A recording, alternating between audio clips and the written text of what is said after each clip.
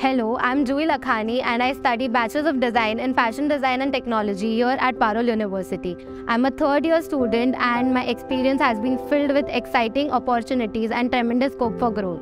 With great infrastructure and facilities here in the field of fashion design and technology, the academics here have been the best in the field.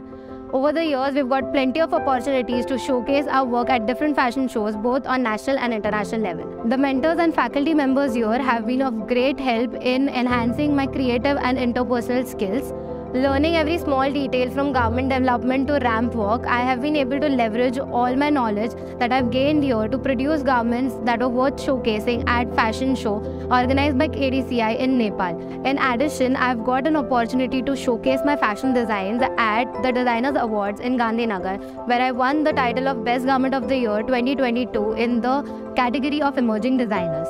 The practical exposure here, such as the opportunity to showcase work in-house and on big platforms, platforms and positive academic uh, environment has uh, played a vital role in uh, enhancing my artistic abilities. After all the time that I've spent here, I can proudly say that Parul University is one of the best design schools we have. We choose to see you here.